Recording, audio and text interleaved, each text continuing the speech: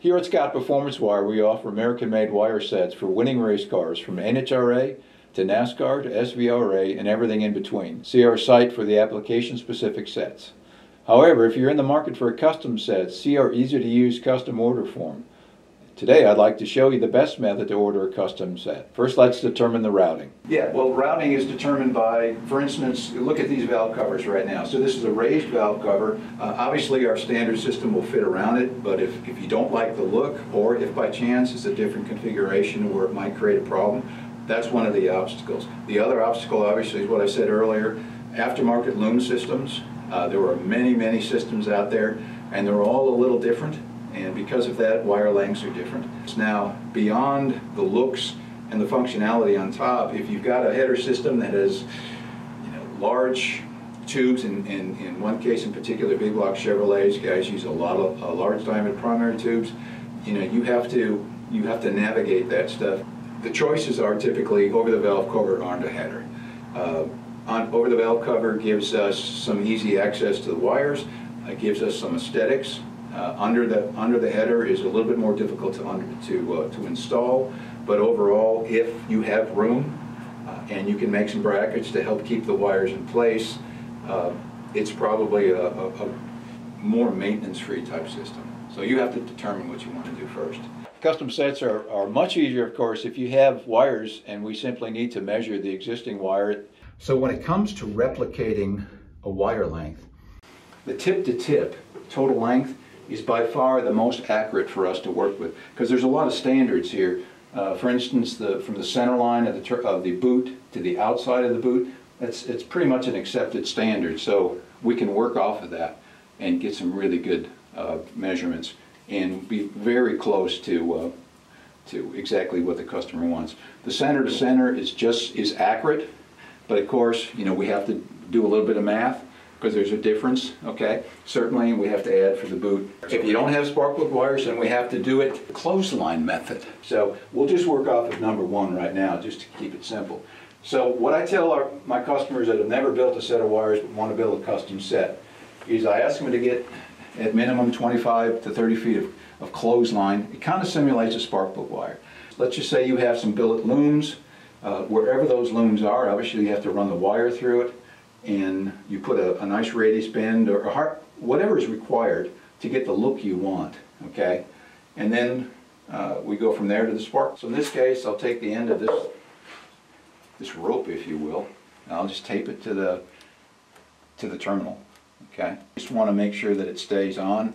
My suggestion is once you do this and you get your lengths you want, measure them, keep those lengths in your toolbox, so in this case, we're going to run the wire on the outside of the breather tube, which is typical for the way I run, uh, uh, you know, and where the valve cover set. Now, a couple of things you want to keep in mind, and we talked about obstacles. So at least with a carburetor for, for sure, we have a throttle linkage to, to, uh, to work around. So make sure that when you run the wire, your throttle linkage is out of the way and there's, there's no possible way you could interfere with that.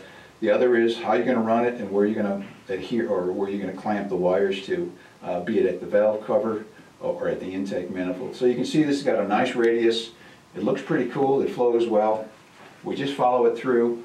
We run it to the tip of the spark plug. Now notice, you know, we're not tight. We have a bit of, a, of slack. Uh, it's always better to be a little long than too short, okay? Uh, obviously, we don't want it too long because that affects the looks. What this does it, it gives you an artistic perspective of your wire set. Now you know what all wires, all eight wires look like, in this case on a V8, and you can kind of critique it. If you don't like the way the you know, one wire is run, you can start over. You can shorten it, obviously, if, if need be, and uh, make it fit. In this case, we're using a, a 90 degree uh, terminal and boot at the spark plug, and we're using an HEI 90 degree terminal at the cap. So what we'll do is once we get this once we're happy, we'll measure the length. So this will be a center to center length. Center of the cap terminal to center of the spark plug. We'll take this tape measure, but we would take it and make sure that the wire is straight and parallel to the tape measure because we want accurate, as accurate a, a dimension as possible. So you can hold that in for us, my friend. So we're measuring 35 inches. So what you would do is on your custom order uh, sheet, or um, verbally over the phone, tell me the number one cylinder is 35 inches center to center. So go one through eight. Uh, you know, we'll do the math on our end to, to add, you know, the boot diameter or whatever else. And you know, I can say with, with great confidence that we'll, you know, we'll be within a quarter inch of what you want. We're just demonstrating on an LS with the coil packs mounted to the valve cover how we can come up with a custom length. We've taped the, the in this case, the, the rope, if you will, to the center of the coil tower, tip of the spark plug. Uh, we would use, uh, in again, be, because of the configuration here, we'd use a 45 at the spark plug, and you would have a choice of actually three different coil uh, boot terminal configurations, a straight, a 45, and a 90. So the rule of thumb uh, that I, I tell my uh, customers is a fat finger width between the, the boot and the primary tube. What happens if we don't have fat finger clearance? First of all, if we can change the configuration to help that situation, then that's part of what we do from a custom standpoint. If there's absolutely nothing we can do, uh, we can look at utilizing, uh, in this case, a thermal sock. All right, now, the, the thermal sock is high temperature fiberglass, it's rated 1400 degrees, uh, and that's a good thing. Uh, the thing to also remember though is if that sock ever gets to 1400 degrees, more than likely the material inside is getting that hot as well. So you have to be a little careful. Uh, I don't want any phone calls about melted wires. So that's why it's, it's so important that we take our time to do this and make sure we're out of harm's way this is the last step that we want to pursue in our order form, uh, you know, be it through the website or certainly verbally, is to define uh, what kind of terminals you have both on your cap and on your coil.